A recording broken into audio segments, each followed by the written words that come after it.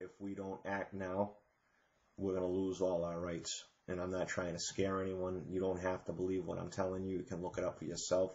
You can ask questions. I mean, that's what being a free democratic society is all about is asking questions. And, um, you know, they don't have the answers for them because it's all there in black and white. You read the bill and it tells you exactly what's going on.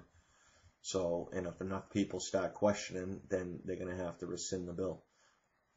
I mean, I don't want my family growing up in an oppressive society where they can't walk outside and breathe fresh air without someone pointing a gun at them. And they might say that that could never happen, but why would they put that language in there, giving them giving them the authority to do it if they didn't have any intent on using it? So don't don't believe what they tell you because our forefathers left England because of the very things that are going on in our government today. And I served my country. I got an honorable discharge from the army, and I, I swore an oath to protect the country from all enemies, foreign, and domestic. Now, these people that are operating in our government right now are criminals. And you don't have to agree with me. You can disagree with me, but time will tell. And if we don't do something, like I said, if we don't all stand up and, and participate in our free democratic society, you're going to lose your rights and you're going to lose them quick. They're devaluing the dollar. The Federal Reserve is printing money, which they don't have the authority to do, regardless of what Congress says they do. It's in the Constitution. They do not have the authority to print paper money. That's in our Constitution. So whatever you hear on TV isn't what the reality is. And the people need to stand up and, and, and unite and stop this because you are losing your rights as we speak.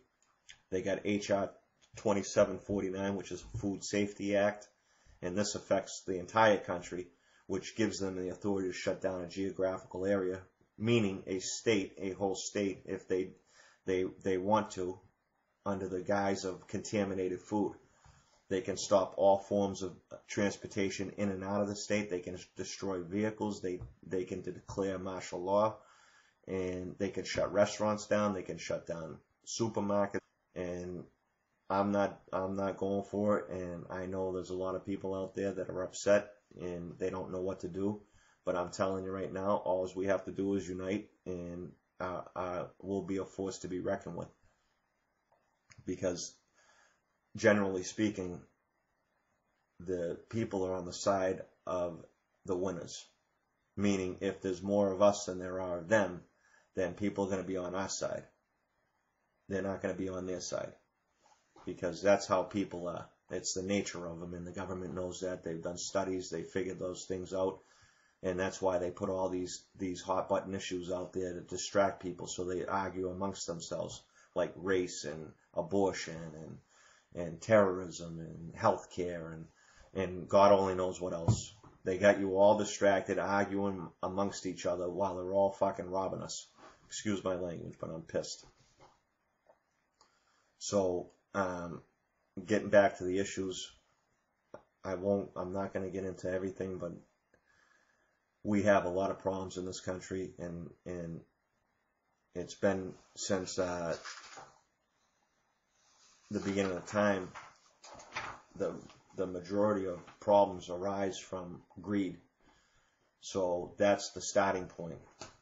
Abraham Lincoln said, uh, "The money powers prey on the nation in times of peace and conspire against it in times of adversity." And we're in times of adversity right now, and that's what the Federal Reserve is doing. And I'm not that's they're not the only bad guy out there, but they have they have uh, exceeded their their authority by printing money. It's in our constitution. They they don't have the right to print, print paper money. Our, our founding fathers knew the hazards of that, and they specifically put it in the constitution to make it criminal to do so, because it happened before in this country, and they stopped teaching stuff in school and people don't know. I, I talked to people today, they didn't even know what martial law was. They're like, what's that? And when I told them, they couldn't believe it. So, I mean, you figure it out.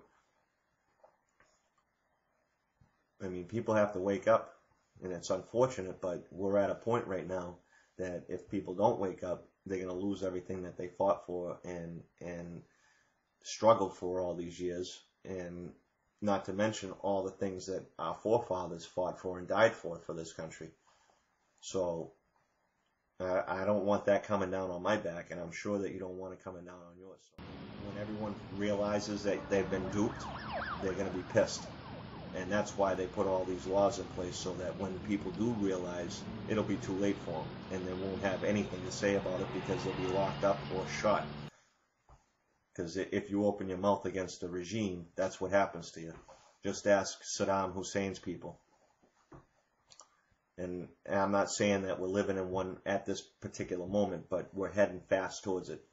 So, and I'm not the history teacher. That needs to fall on your shoulders. You need to do your own reading.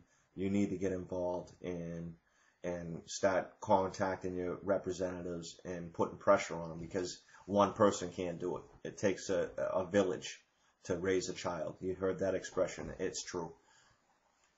It takes a village to to like elect a leader and then it takes a village to watch that leader and make sure he doesn't go power hungry.